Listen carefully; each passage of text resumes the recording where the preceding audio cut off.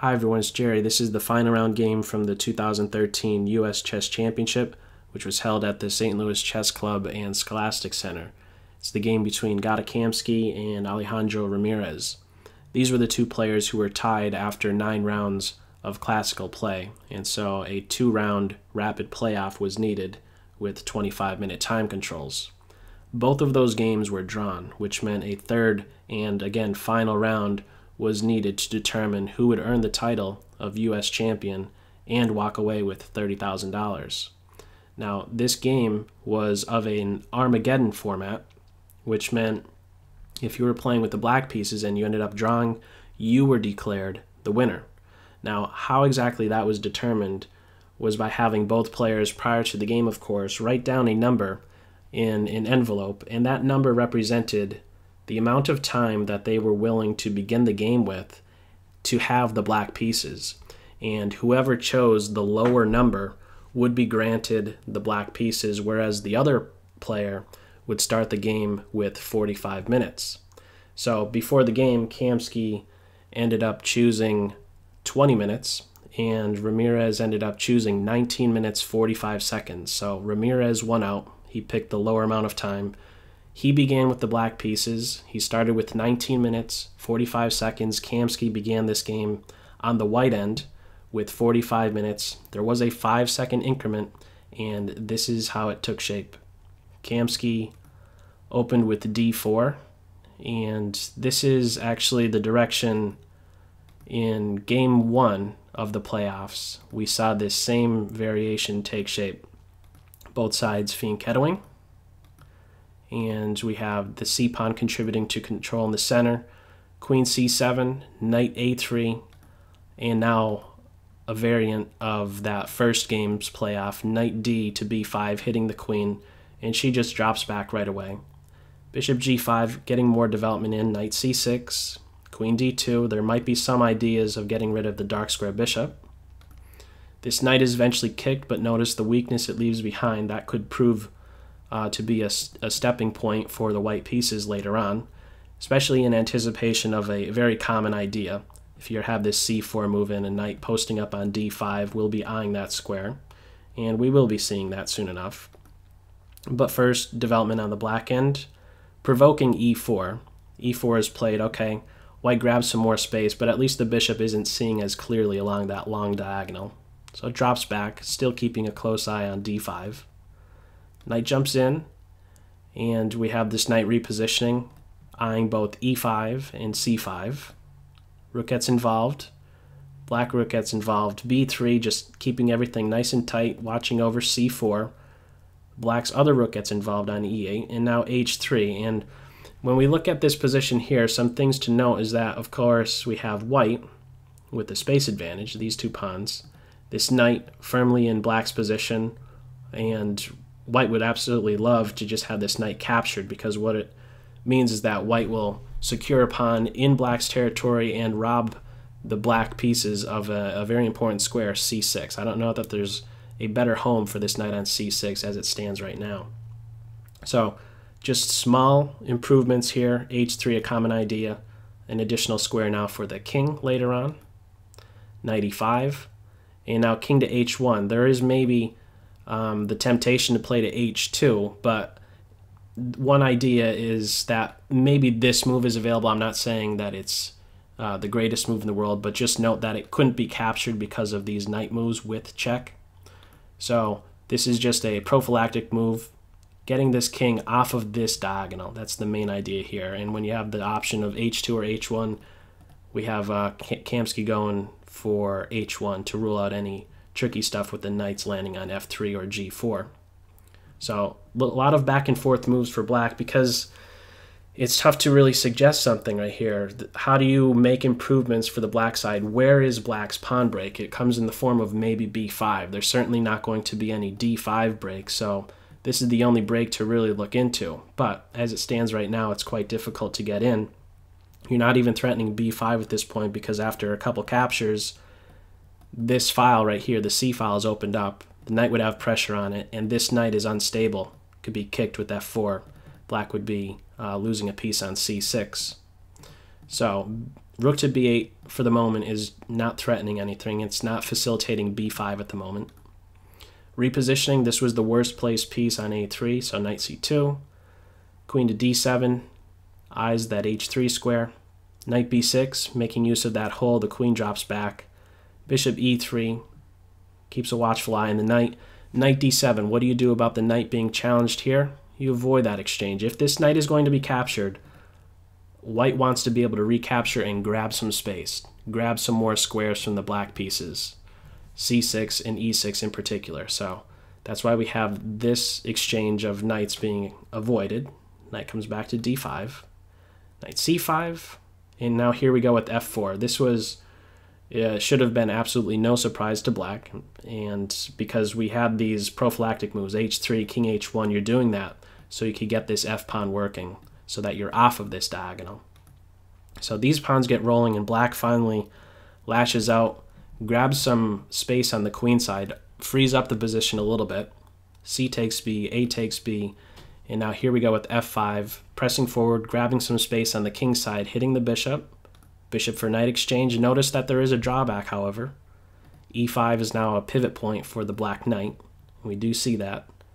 After e takes d, we have knight e5, and then knight to b4. This seems like a very strong post for the knight. Watches over this pawn, stops this guy from moving, has a jumping point on c6, and it also watches over d3, so that there's no knight pivot. No black knight pivoting on d3. Queen a5 there is the potential to maybe have a queen exchange. And keep in mind, this is, again, an Armageddon, so black needs only to draw the game to be declared the winner.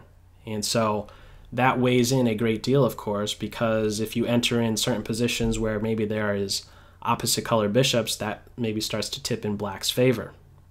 So from here, we have this exchange going on. White is actually netting a pawn, and we have now the follow-up of rook to c8. Keep in mind, we do still have the potential for opposite color bishops with the dark square bishop for black, light square for white.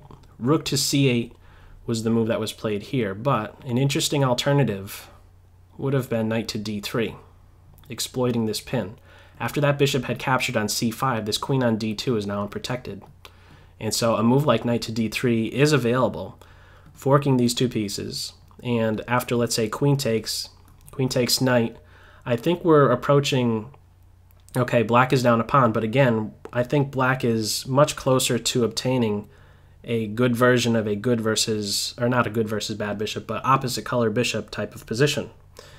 This queen, uh, I think, is very strongly placed. Pressure on the rook, maybe watching over e7 as soon as the rook moves, and then maybe look to play this rook to c8 move or maybe rook to d8 move.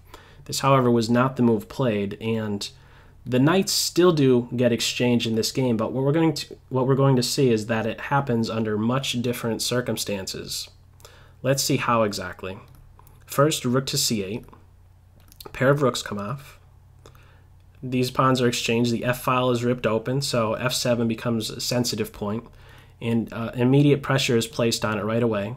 It is defended by the knight, but of course this knight can now be challenged. White is positioning themselves so that this knight could try to look to deflect it in some way. Knight d3 stuff, not saying that that's best. Knight c6 would be the ideal square, and soon enough we'll see him jumping in there. So, uh, queen c7, opposite the queen indirectly, and now a4. This pawn gets rolling. It is now a it's a runner. It's a passed pawn f5, a very committal move, and it does weaken this diagonal. Uh, subject itself, the king subjects itself to maybe some checks along that long diagonal. And now the knight does jump into c6, and now we have the knights being exchanged. And this is the situation I'm talking about because now, after the recapture, we have a great transformation.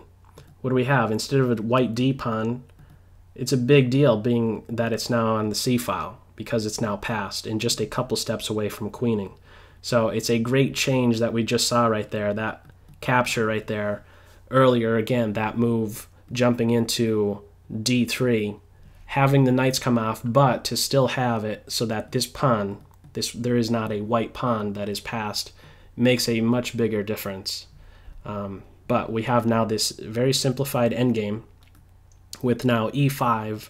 Black is starting to go wrong because, well, I don't know that there is a great solution at this point. There are two pass pawns. With still the major pieces on the board, it's uh, still very, very difficult to come away with the draw here for black. So, what black would love to do is slam the door on the bishop, but that's not going to be allowed. First, we have this check thrown in on d5. The king scoots over, is opposite this uh, rook right now, and white immediately challenges it with g4. And after a couple exchanges, we have white now being up a couple pawns in this opposite color bishop ending. King getting more central, watching a, over the c7 square. Bishop backs up.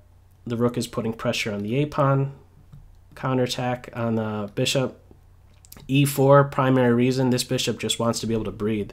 For the longest time, well, not for the longest time, but for, just for that moment, it was watching over the pawn. It wants to have some more freedom of movement wants to maybe be able to pivot on e5 to watch over the advancement of this passed c pawn. So another pawn is given up. It's now three, three pawn advantage for black. Bishop e5 getting central. We have a check thrown in. Bishop drops back and note how at this point right here we had king to b6 played. If rook takes pawn is played, this pawn can march on. And if it is captured, we would end up with this fork. The bishop's dead and soon thereafter the king will be. So we don't have that. We don't have rook takes pawn, but rather king b6. The rook challenges the bishop, and now black works themselves into a pin. If this bishop ever moves, the exchange of rooks at this point right here will be winning for white. These pawns are just too much to deal with. So what is tried after h4 is played this pawn, it's very clear plan for Kamsky at this point just to push this h pawn forward. So black needs to do what exactly? The attempt that's tried is to have the king now come over to watch over the bishop, which would free up this rook to move. So we have after h4, king c7, h5, king d6, h6, and now rook takes a4. What do you do here for white? This is the killer move. Rook takes bishop. There's no good solution at this point. After king takes rook, c7, no good solution here. This pawn is ready to queen. This pawn not far off and it is at this point that Ramirez ends up resigning. There is nothing to do here. After rook to c4, we would have h7. This pawn promotes. That's game over. So as it stood in this game, we had after c7, again, Ramirez resigning, and Kamsky going on to win what's now his fourth U.S. championship. But hats off still to uh, Ramirez. I, I, I believe he had a fantastic tournament and uh, it really was tight all the way in the playoff in the classical play. Uh, hats off to both players, and uh, again, congratulations to Kamsky on his fourth win. So that's all for this video.